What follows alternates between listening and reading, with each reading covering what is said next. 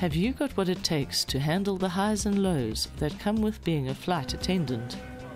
A flight attendant ensures that passengers during flight are safe, secure, and comfortable. Flight attendants conduct pre flight cabin checks. This includes inspecting emergency equipment and checking that there is enough food, beverages, and blankets on board.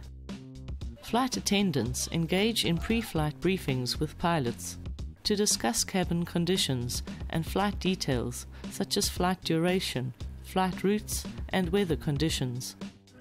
Flight attendants greet passengers, check boarding passes, and direct passengers to their seats. Once the doors are shut, flight attendants ensure that seats are locked upright and that passengers have secured their seat belts safely.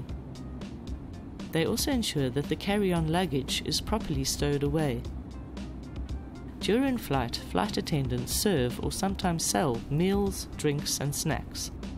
They see to the needs of passengers and provide assistance to those requiring special attention, such as the sickly, unaccompanied children, parents with infants, people with disability, and the elderly. They also take action against disruptive and unruly passengers. Flight attendants reassure stressed and anxious passengers during decompression, turbulence, mechanical malfunctions, or any other irregularities that may occur. Flight attendants are trained to put out fires and provide first aid. Flight attendants are confident, friendly, and attentive. They also have good communication skills and are able to work in a team. To become a flight attendant, you need a National Senior Certificate or an equivalent qualification and be proficient in English. You need to be medically fit and healthy and be able to swim. You should be at least 1.58 meters tall and your height should be in proportion to your weight.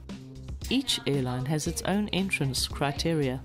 Usually, you will be recruited by one of the airline companies. Some airlines require you to be proficient in two or more languages. Training takes place through the South African Civil Aviation Authority.